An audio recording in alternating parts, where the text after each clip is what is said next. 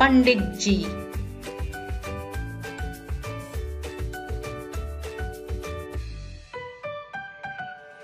जब घर आए पंडित जी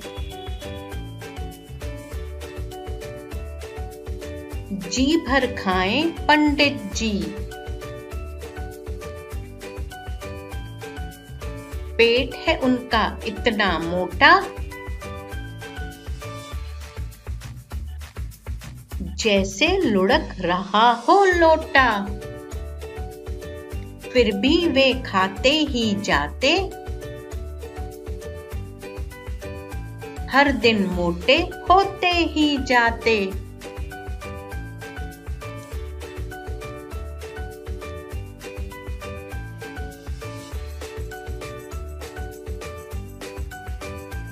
पंडित जी